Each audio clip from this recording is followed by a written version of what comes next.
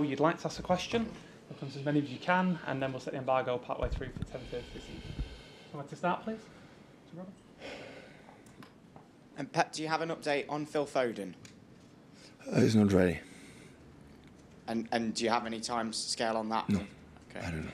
Um, just looking at the other night, how pleased were you with Jack Grealish's role? And is that something we will see more of going forward? Yeah, he played really good. We are so happy for him and for the team. And uh, yeah, hopefully can be fit in the next in these games. And for Kevin De Bruyne as well coming back, how much are you going to have to manage his fitness going into a, a busy period as well now? Yeah, but we don't have many players, so we'll see. But uh, yeah, important back. But you know, long time, maybe three days, three days, three days. We'll see. We'll see how how how does he react with this amount of games.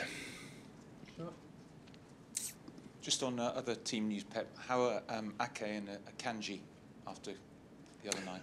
Uh, Nathan is out. Uh, Manu, we'll see. In, in terms of longer term players, um, Stones, Kovacic and, and Still, they are out. the, the match itself, um, Palace have had a bit of a struggle this season. Have you been surprised by that? He's playing really good. The results are the results. Sometimes happen, but it's not because I'm playing against them. So they make uh, a step forward. I would say they finished unbelievably last season. Last ten games was maybe the best, one of the best teams. They're struggling results, but uh, physicality, Selhurst Park, and the patterns that they have is really good. So aggressive. It's so difficult to make a build up. Uh, um, yeah, and the quality is there. Anton, just to you. Right, please. Hi, but obviously you talked about Kevin De Bruyne being able to potentially, you know, monitor his fitness over the next few days. But I'm just wondering, we obviously saw him play so well the other night. We all know how important he's been to the team over the last, well, for, for years really. So I'm just wondering if there's been any any closer to have a resolution about his future at the club. No, no, don't. I'm not involved in that.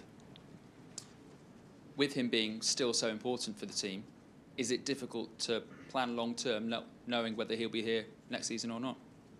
I would like to have a 23 years old and sign a contract for 10 more years for him. So this is what I would like, but we'll see.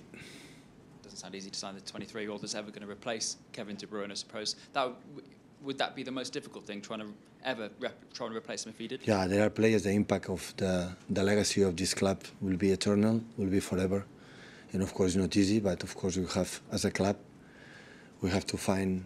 In the moment it's going to happen, we have to find the best way. Thank you.